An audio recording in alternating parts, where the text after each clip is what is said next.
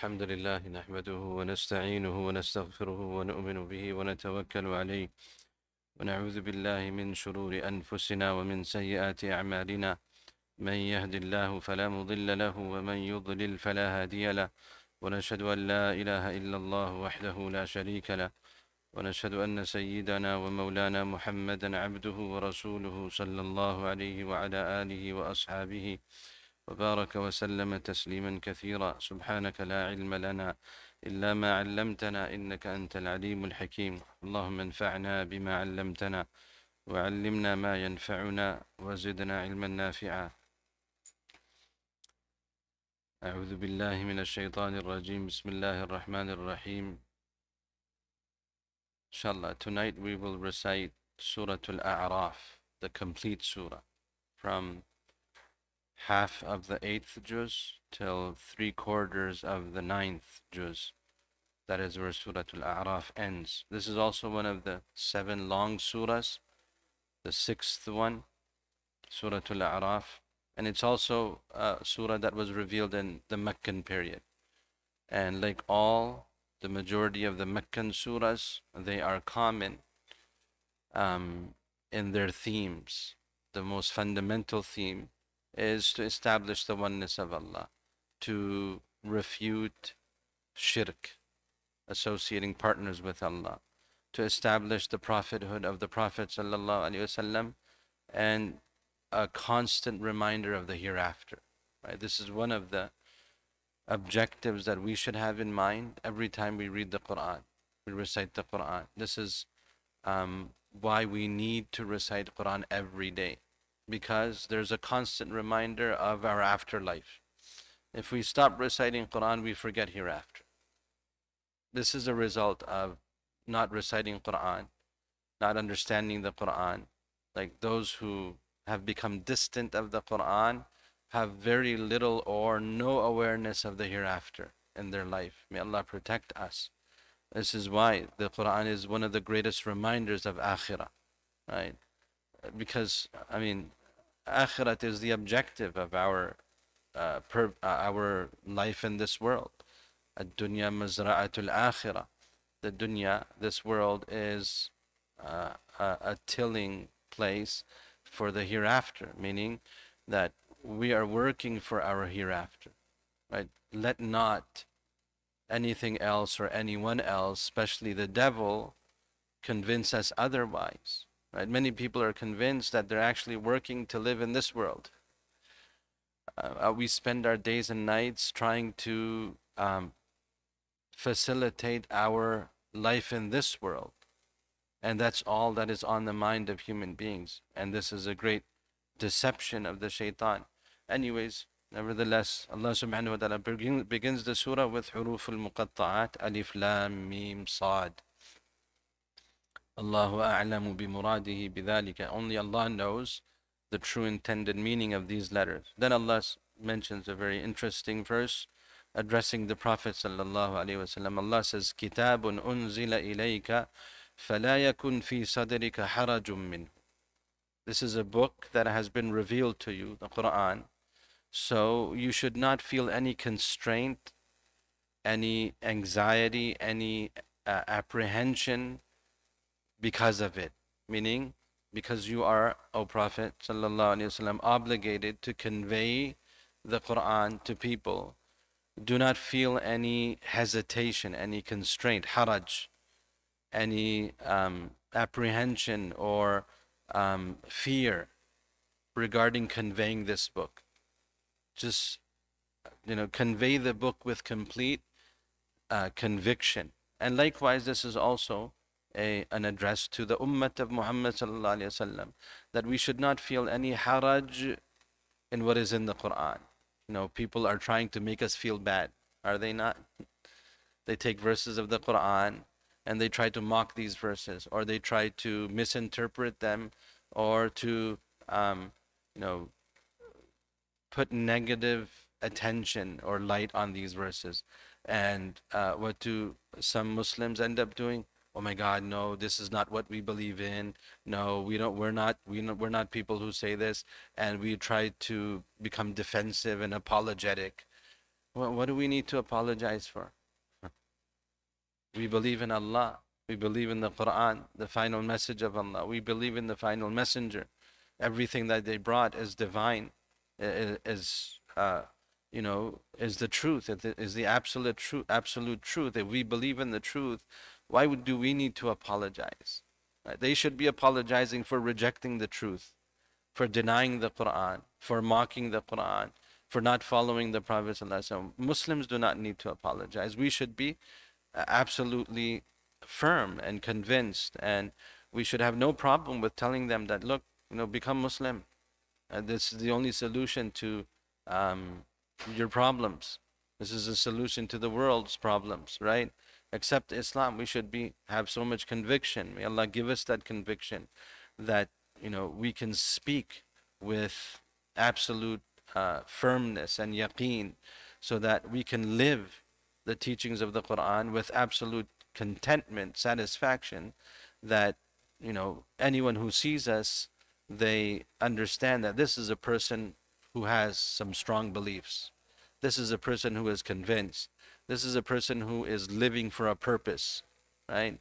He's not just following the herd, right? He's not just part of the rat race, right? So Allah subhanahu wa ta'ala is telling us, فَلَا يَكُنْ فِي صَدْرِكَ حَرَجٌ مِّنْهُ Like you should ha- not have any problem with the Quran that I have revealed to you. You shouldn't feel any burden or any anxiety or any fear or any hesitation in regards to its teachings and its commands. So that you warn through the Quran and you remind the believers, right? And likewise, the believers should also be taking warnings from the Quran and making it a reminder and warning others and reminding others also. Allah says, follow that which has been revealed to you from your Lord. اتبعوا ما أنزل إليكم من ربكم ولا تتبعوا من دونه أولياء قليلا ما تذكرون. Allah says, كم من قرية أهلكناها. Like, do you not pay heed or pay attention to how many cities we have destroyed? فجاءها بأسنا بياتا وهم نائم أو, أو هم قائلون Our punishment came to them during the night and another verse coming up while they were sleeping or during the day while they were having their siesta or uh, while they were engaged in amusement during the day our punishment came to them Allah subhanahu wa ta'ala's punishment Allah subhanahu wa ta'ala's uh, decision sometimes to um, destroy a city, a town, comes all of a sudden. And this happens all the time. And it's not like it's just happened to the previous nations, it's happening to us too, right? And 45 seconds and everything's gone, destroyed. This is Allah reminding us that uh, do you not see all of this happening around you, right? And take lessons from it. فما كان دعواهم إذ جاءهم بأسنا and when our decision came to them their call was only inna kunna zalimin. Oh, we are, we were wrong. We wasted our life. Right. Right. So Allah subhanahu wa ta'ala is reminding us. Allah says, eventually your judgment will be of your good and evil deeds. Allah says, وَالْوَزْنُ يَوْمَئِذٍ الْحَقِّ On the day of judgment, the weighing of your deeds is absolutely certain.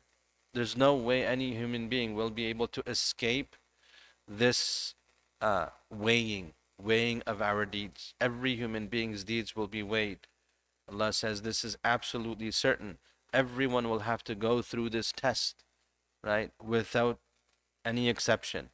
فمن ثقلت موازينه فأولئك هم المفلحون Those people whose scales of good deeds will be heavy, they will truly succeed, right? On that most important day. And those whose scales of good deeds will be light, and their evil deeds will outweigh their good deeds, فَأُولَٰئِكَ الَّذِينَ خَسِرُوا أَنفُسَهُمْ They are the people who would have uh, uh, failed themselves. They will be ultimate failures.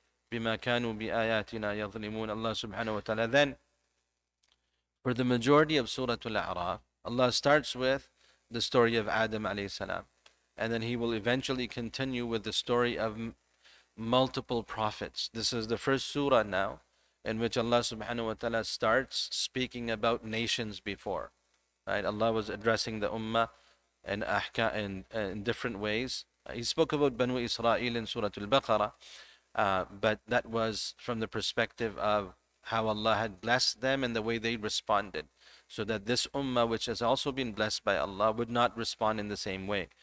But as uh, a lesson for this ummah, Allah subhanahu wa ta'ala uh, constantly brings the um, this, the condition of the previous nations as a lesson for this ummah that look look at the way these people behaved and what happened to them and this is a great blessing of Allah to the ummah of Muhammad we are the last ummah there's no ummah to come after this ummah so Allah has given us the opportunity to reflect on what the previous nations did and learn from their mistakes, right? The mistakes they made, the consequences they faced. This should become a reminder for this ummah so that we don't fall into the same mistakes. And as for the mistakes we make, no one is going to be told of them because there's no nation to come after us. This is also another blessing that Allah told us of what the people of Nuh alayhi salam did, what the people of Hud alayhi salam did, the people of Salih alayhi salam did, the people of Lut alayhi salam did, the people of Musa alayhi salam did, all the wrongs that they committed, the people of Shu'aib alayhi salam did. Allah mentions the stories of seven prophets, one after the other, in uh, considerable detail, right? Uh, all the wrongs that they committed and eventually how they were destroyed. But then when this ummah comes, there's no ummah to come after to tell them about what this ummah did. Right? So this is also a blessing of Allah. The wrongs that obviously this ummah is committing will not be conveyed to any subsequent nation because there is no nation. Anyways, Allah subhanahu wa ta'ala starts with the story of Adam alayhi salam, the creation of Adam alayhi salam, and eventually Iblis, shaitan, refusing to prostrate after he was commanded with all the other angels, upon which Allah subhanahu wa ta'ala said, فَخْرُجْ إِنَّكَ مِنَ الصَّاغِرِينَ Like you are cursed. Leave from this noble gathering of angels, from this uh, heavenly environment. Leave because you are from the humiliated, disgraced. Your, your arrogance and your jealousy, right? has prevented you from fulfilling the command of Allah. Although he was considered to be a great abid, Iblis, before the creation of Adam salam, he was considered to be a great worshipper of Allah subhanahu wa ta'ala. He used to worship Allah along with the angels. Um, but this jealousy that crept into him and this arrogance led to refusing to comply with this command, which caused him to be cursed. Uh, although, because he he was aware, right, of the the attributes of Allah subhanahu wa ta'ala, the sifat of Allah. But although Allah subhanahu wa ta'ala was angry with him, he still made a dua to Allah. Right? Because he knew Allah's anger, right, does not overpower him. Allah is not like us, human beings, where our emotions take the better of us. When we are angry, then like we can't show mercy at the time of anger, right? Uh, when a human being is extremely angry, you don't angry, you don't uh, request them for a favor, right? You wait till they cool down. But in Allah subhanahu wa ta'ala state, his anger does not overcome his mercy. He's merciful at the same time he's angry, right? So this does one trait does not overpower the other. Right? Actually, his mercy uh, overcomes his his his wrath, like uh, the hadith mentions. But so he understood this. So even though he was cursed at that moment, he said, "Oh Allah, give me till the day of judgment. Give me respite. Anzirni ila yawmi yub'athun." Allah said, "Innaka min al Go, you have till the day of judgment to live on this earth, right? As you wish. I will give you this much time, and then you will be sent to the hellfire with the rest of those who follow you. So he was given this, he, his dua was accepted basically. He was given this uh, opportunity. And he swore an oath and he said, فَبِمَا أَغْوَيْتَنِي لَأَقْعُدَنَّ لَهُمْ صِرَاطَكَ الْمُسْتَقِيمِ That because of the fact that you led me astray, he, he's blaming Allah, right? and he's blaming the human being. He's not ready to accept uh, the true reason why he was cursed because of his arrogance, because of his jealousy. Usually, people who have a diseased heart, They're, they're, not ready to accept their disease, right? That I have arrogance in me, I have jealousy, it's because of this that this happened, right? They're usually very quick to point fingers at others, right? It's because of him, he did it, um, but I had nothing to do with it, right? They just, they're quick to lay blame on others, like Shaitan did. So he blamed Allah, he blamed the human being, and he said, I'm going to sit on the path of the human being, on the, on the path, on the right path the right path of righteousness. I'm going to sit on his path, every human's path, and I will approach him from in front, from behind, from the right, from the left, from every direction to lead him astray. Right? وَلَا تَجِدُ أَكْثَرَهُمْ شَاكِرِينَ Allah said, uh, He said to Allah, You're not going to find most human beings to be grateful to you. Meaning, they're going to follow me. They're not going to follow you. Right? And in this way, he became the um, open enemy. Allah says, "Inna shaytan lakum aduwwun." Shaitan is your open enemy. Aduwwun mubin. Like he's not even hidden.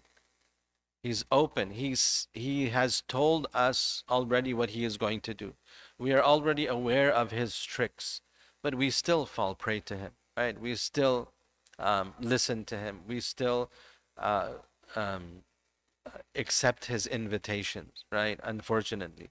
So shaitan, Allah subhanahu wa ta'ala reminds us, he's your open enemy, right? So beware of him. He's always going to be trying to lead you astray. In many different ways, he tricks us uh, in um, uh, disobeying the commands of Allah, right? And um, going against the teachings of the Prophet ﷺ. He will make excuses for us, right?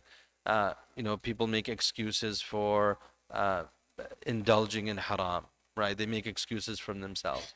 That's shaitan giving them excuses, right? All of these excuses shaitan makes, he makes it look attractive, right? This is called tazyinu shaitan. Shaitan makes his ways look attractive to people. People sometimes don't even realize that they're following in the footsteps of shaitan, right? Allah subhanahu wa ta'ala mentions how he was able to trick our father and mother, Adam alayhi salam and Hawa alayhi salam. Right? فَوَسْوَسَ لَهُمَ الشَّيْطَانِ Shaitan whispered to them. Right? And he whispered to them to eventually um, لِيُبَدِيَ لَهُمَا مَا وُورِيَ عَنْهُمَا مِنْ سَوْآتِهِمَا He whispered to them with this intent that their modesty would be exposed. Right? Um, they would start feeling the shame because of the wrong they would eventually commit and he started saying that look uh, your lord has not uh, prohibited you from this tree only so that you don't become angels illa an takuna malakain he doesn't want you to become angels he doesn't want you to become eternal like the angels and then not only did he uh, try to convince adam salam and hawa salam in this way he swore in the name of allah he said wallahi right billahi, tallahi. He used all the qasams that are possible. And now Adam salam, Hawa salam, these are first human beings created by Allah. Their devotion, their loyalty to Allah. If they never heard someone lying in their life, they just started their life, right? Like they would never imagine someone who would swear in the name of Allah an oath and lie to them blatantly, right? So due to many reasons, they were uh, they actually fell for his uh, uh, um, deception, right? They actually thought, like Shaitan convinced them that look, when the uh, when Allah Subhanahu wa Taala prohibited you from eating from this tree, that was because you were like freshly made. You were just uh, young humans, right? You were just created, and your human um, abilities have not developed fully yet, and therefore eating from this tree would be harmful for you because you wouldn't be able to, um, you know, sustain the effects of this tree because you would become angels and it would be harmful for you. But now, after a period of time, you have developed your capabilities and you are now are able to uh, sustain the effects of this tree and you will eventually become angels. So in other words, he's trying to say, you know, he does this ta'wil. You know, people do ta'wil of the ahkam of Allah, right? Oh, the, this hukam is only for this situation. It doesn't apply to us, right? So people do these misinterpret misinterpretations all the time of the Quran, of the Hadith, right? They don't want to follow the scholarly interpretation. They take Hadith and interpret it themselves, right? And they misinterpret a Hadith uh, to, um, you know, make things conven- convenient for themselves. So this is what Shaitan was doing. He was mis- misinterpreting the um, command of Allah. He was trying to say that the command was time restricted. It was only in this specific context that Allah was telling you not to eat from this tree. That uh, context is no longer existent. It doesn't apply anymore. So the original ruling is you can eat from anything from Jannah. So you can eat from this tree too, right? So that ruling was not a uh, uh, was a time restricted ruling and it no longer is applicable. And then he started swearing these oaths, Wallahi, you know, I'm a well wisher. So, like, obviously, Adam alayhi salam, the innocent human being he was, would accept his uh, um, recommendations. And then who wouldn't want to become an angel, right? Who wouldn't want to become uh, such a, um, you know, uh, close creation of Allah subhanahu wa ta'ala, the angels. So in this way, he ended up deceiving Adam alayhi salam and Hawa alayhi salam. And they ate from the tree and eventually Allah subhanahu wa ta'ala reproached them, reprimanded them that I told you not to listen to shaitan. I told you um, ألم أقل وناداهما ربهما ألم أنهكما عن تلكما الشجرة Did I not prevent, prohibit you from this tree? And did I, did I not tell you that shaitan is an open enemy to you, but you still ended up believing him? Eventually, I mean, this is all part of the wisdom of Allah subhanahu wa ta'ala. Obviously, our uh, parents would need to come on earth for us to be born on earth, right? If they didn't come to earth, we wouldn't be on earth, right? Um, so this was all part of the design and wisdom of Allah subhanahu wa ta'ala. They realized their mistake. Unlike shaitan, who blamed it on the human, who blamed it on Allah, Adam alayhi salam and Hawa alayhi salam, they accepted their uh, mistake and they cried and cried. Eventually Allah subhanahu wa ta'ala taught them a dua, a beautiful dua. We should all learn it. This was the dua that our parents made for their forgiveness the first human beings for their mistake to be forgiven. And obviously, this would be a dua that we should make for our mistakes to be forgiven. Right? And this is actually a dua that Allah subhanahu wa ta'ala taught them. Right? Uh, it's like Allah subhanahu wa ta'ala is saying, if you want to ask forgiveness from me, say this. I'll forgive you. Right? So, فَتَلَقَّاهَا من ربي كلمات فتاب عليه فتلقى آدم من ربه كلمات So these were the kalimat.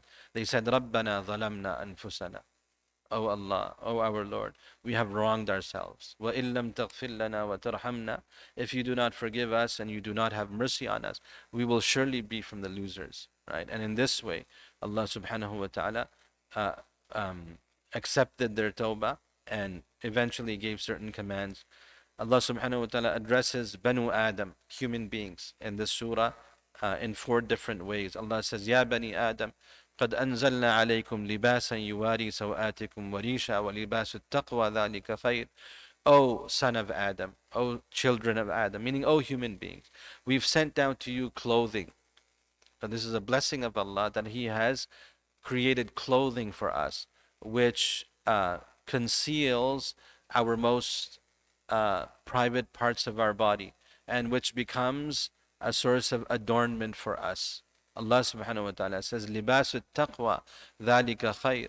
Right, the clothing of righteousness, the clothing that righteous people wear, the clothing of modesty is the best clothing for you. So don't fall into the trickery of shaitan who tried to take your clothing off of you in Jannah, right, by tricking you.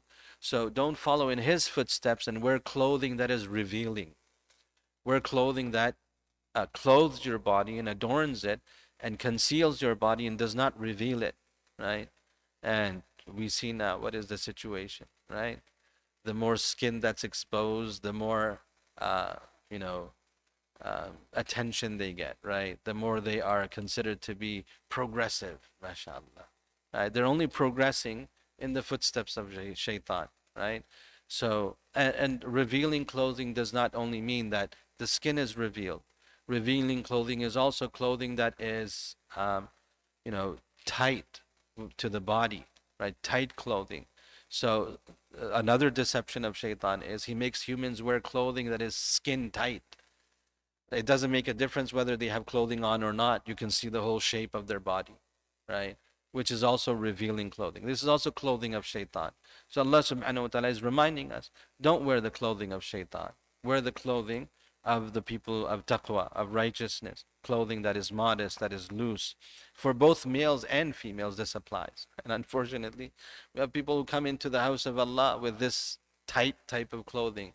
And unfortunately, when they go into sujood, we see the results of that tight clothing, right? Many of us are afflicted with this great test in the masjid. May Allah subhanahu wa ta'ala forgive us, protect us. The second uh, address to Banu Adam, Ya Bani Adam, لا يفتننكم الشيطان كما أخرج أبويكم من الجنة جنة ينزع عنهما لباسهما ليريهما سوآتهما إنه يراكم هو وقبيله من حيث لا ترونهم Allah addresses human beings and says, Oh humans, don't let the shaitan deceive you, fool you, like the way he deceived your parents and caused them to uh, um, exit paradise and he uh, snatched from them their clothing, right?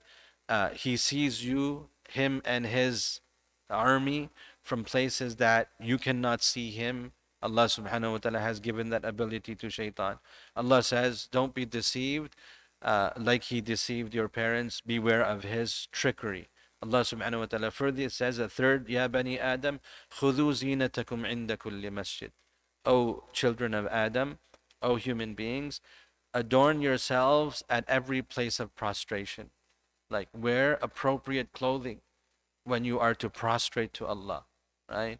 This is something we need to be mindful of. When we come to the masjid, when we are going to prostrate to Allah, we should wear appropriate clothing and eat and drink and do not be extravagant. وَلَا تُسْرِفُوا Because israf is from shaitan too. Right? In other words, Allah subhanahu wa ta'ala is telling us all those places that shaitan will take us to and how we should be aware and avoid uh, these places. Um, Allah speaks about um, uh, the issue of prohibition, what he has made haram and what he has not made haram. Allah subhanahu wa ta'ala also in this surah um, mentions conversations between the people of the fire and the people of Jannah. وَنَادَى أَصْحَابُ الْجَنَّةِ أَصْحَابَ النَّارِ Right, the people of paradise will call out, converse with the people of the hellfire. And they will say, قَدْ وَجَدَنَا مَا وَعَدَنَا رَبُّنَا حَقًّا We have found that which our Lord had promised us to be true in the Quran. Right? Meaning whatever Allah said to us in the Quran, we found it to be true. We saw paradise, we saw hellfire, and we saw Yawmul Qiyamah, and everything was true that Allah said to us, right? We had found it to be true. فَهَلْ وَجَدْتُم مَّا وَعَدَ رَبُّكُمْ حَقًّا Then they will ask the people of Jahannam, Did you find what your Lord had promised to be true? What other answer could they give? They will say, قالوا نعم. Yes. The warnings that Allah gave us, the Jahannam He spoke about, it's all true. Right? And they will respond in this day, uh, in this way. فأذن مؤذن بينهما لعنة الله على الظالمين and then a caller will call out between them and say the curse of Allah is on the wrongdoers those who were warned who were told but still they didn't comply they still disobeyed Allah also speaks about Ashabul A'raf. This is what the surah is named after, A'raf. A'raf means heights or a, a huge wall, right? A barrier, A'raf. Allah subhanahu wa ta'ala says, وَعَلَى الْأَعْرَافِ رِجَالٌ There will be people on A'raf, on these uh, on this wall or this barrier or, or on these heights uh, يعرفون كلا بسيماهم and everyone will recognize who they are they will know who the Ashabul A'raf are. Basically, Ashabul A'raf are those people whose good deeds and bad deeds were equal. There will be such people, right? That they were just in the middle, they were 50 50. So they will be made to stay in this plane or in this on this wall of A'raf, on this height of A'raf, plane of A'raf. And they will be made to stay there for a period of time. And that that wall is situated or that plane is situated in such a place that on one side they can see paradise, on the other side they can see hellfire. So they would be able to look both ways. And they will say, وَنَادَوْا أَصْحَابَ الْجَنَّةِ أَنْ سَلَامٌ عَلَيْكُمْ like they will call out to the people of Jannah and say, Salamun alaykum, although they will not be able to enter Jannah, and nor will they be able to enjoy the food of Jannah. And then they will turn their eyes towards the people of the hellfire, tilqa'a ashabin nar, and they will say, Oh Allah, Rabbana la taj'alna ma'al. Don't make us from these people. Eventually, after a period of time, Allah subhanahu wa ta'ala will transfer all of these ashabul araf into paradise. And they will be given entry into paradise. Allah subhanahu wa ta'ala further speaks about them and then, like we said, Allah subhanahu wa ta'ala speaks about the different nations. لَقَدْ أَرْسَلْنَا نُوحًا Before that, Allah mentions a, a very um, uh, uh, uh, effective verse or if, uh, very eloquent verse. Allah says, وَالْبَلَدُ الطَّيِّبُ يخرج نباته بإذن ربه والذي خبث لا يخرج إلا نكدا Allah gives a parable and he says that uh, fertile land will always uh, take out from it crops, right? Like vegetation and crops and sustenance. It will take out good, fertile land. Al-baladu uh, Whereas, وَالَّذِي خَبُثَ That land which is infertile, right, which is um, barren. Barren land will not take anything good out except for like thorns and bushes. and this is how Allah gives an example of human beings and their hearts. Some humans, their hearts are fertile. When the rain of Quran rains down on them, good comes out of their hearts. They accept the verses of the Quran, they comply with them, they obey them. And then there are those human beings whose hearts are like this infertile land, right? No matter how much water falls on it, how much Quran is recited to this heart, how many prophets or the prophet speaks to them, their heart does not um, produce anything good. It only produces thorns, right? They only listen to the Quran and they mock it. They only listen to the Quran and they look for objections in it instead of taking guidance from it. Allah says human beings are like this too. And in this way, Allah subhanahu wa ta'ala starts speaking about the nations. He says, لَقَدْ أَرْسَلْنَا نُوحًا إِلَىٰ قَوْمِهِ We sent Nuh alayhi salam to his people. We sent Hud alayhi salam to his people after Nuh alayhi salam. After Nuh, Hud alayhi salam, we sent Thamud to Thamud, we sent Salih alayhi salam. Then we sent Shu'aib alayhi salam to the people of Madian. Then eventually Allah subhanahu wa ta'ala speaks about Musa alayhi salam and Harun alayhi salam being sent to Fir'aun. And the story of Musa alayhi salam and Fir'aun continues for uh, a, a, good um, while. Many details are given of this, uh, the story of Musa alayhi salam and Fir'aun. Eventually, how uh, initially how he was Musa salam invited Fir'aun uh, Fir'aun uh, rejected, denied. There was a challenge between Musa salam and the sorcerers, magicians. The magicians realized that this is not a magician. He must be a prophet. When he uh, threw his staff down and it became a huge serpent and consumed all of their little ropes that were made to seem like snakes. They accepted Islam and Fir'aun uh, tortured them, punished them by cutting their hands and their feet, but they still stayed steadfast on Iman and they did not give up their Iman. And in this way, Fir'aun started torturing Banu Israel, started slaughtering their sons and keeping their women alive, right, so that he could use their services. Eventually, Allah subhanahu wa ta'ala afflicted Fir'aun and the people of Fir'aun with many different tests. There were floods, there were locusts, there was blood, there was uh, lice, um, uh, uh there's all these different afflictions that came upon them so that they can pay turn back to Allah subhanahu wa ta'ala, accept Musa alayhi salam's message. But they refuse. Eventually Allah says, uh, فَأَغْرَقْنَاهُمْ أَجْمَعِينَ We drowned all of them. But after giving them so many chances, opportunities, they still didn't listen, we drowned all of them. And Allah subhanahu wa ta'ala then goes on to speak about Musa alayhi salam and Harun alayhi salam and their um, uh, experience with their people, Banu Israel right? The different uh, transgressions that Banu Israel committed, even after being saved by Allah subhanahu wa ta'ala. They fell into calf worship, right? They uh, demanded that they wanted to see Allah. They demanded a book from Allah. There, he, Allah subhanahu wa ta'ala speaks about a group of the Jews who used to live by the sea and they were uh, uh, fishermen, they would fish, and Allah tested them by saying, On Saturday you cannot fish. On Saturday you have to devote yourself to the worship of Allah. They call it the Sabbath, right? You have to observe the Sabbath. And uh, they didn't want to comply with this. So they tried to, again, do ta'wil, right? Make a, um, you know, interpret the command of Allah in a way that would be convenient to them. So what they would do uh, was uh, they would go and throw out their nets before Saturday, right? Because all the fish would they would come in to the harbor on Saturday, and the rest of the days there would be no fish in the harbor.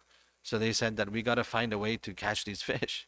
So they threw out their nets before Saturday into the harbor, right? And then uh, when the fish would come in, they would get caught into the nets and they wouldn't catch them. And then the next day, on Sunday, they would go and take all the fish. They're like tricking Allah.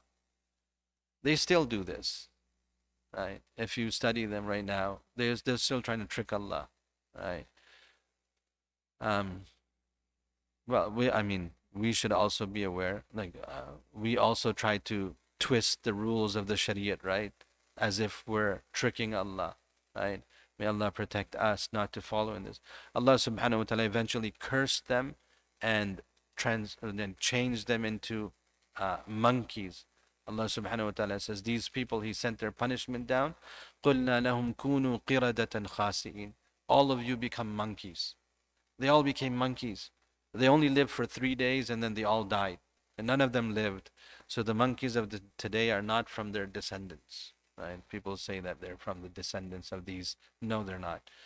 Anyways, in this way, Allah subhanahu wa ta'ala eventually um, also addresses the people of Makkah and this ummah in relation to the prophet that was sent to them, meaning the Prophet Muhammad sallallahu And Allah subhanahu wa ta'ala encourages to comply with the instructions of the Prophet The surah ends with uh, an ayat of sajda.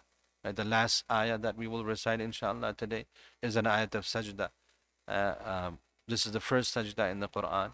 Allah subhanahu wa ta'ala in that ayah speaks about the, the angels that they have no arrogance in them, those who are by Allah, the angels, that um, they do not show any arrogance in worshipping Allah. They praise Allah and they fall into prostration before Allah subhanahu wa ta'ala. This is why when we read this ayah, we also prostrate and do sajda. Eh, as if we are showing Allah subhanahu wa ta'ala that, oh Allah, we are not ashamed of worshipping you either. We have no arrogance in us that is stopping us from worshipping you. We also humble ourselves before you. Allah subhanahu wa ta'ala make us all humble to his commands. May Allah make it easy for us to uh, comply with his commands, be obedient to him and protect us from his disobedience. Allah save us from kibr, arrogance. Allah save us from jealousy. Allah save us from the tricks of shaitan. سبحان الله وبحمده سبحانك اللهم وبحمدك نشهد أن لا إله إلا أنت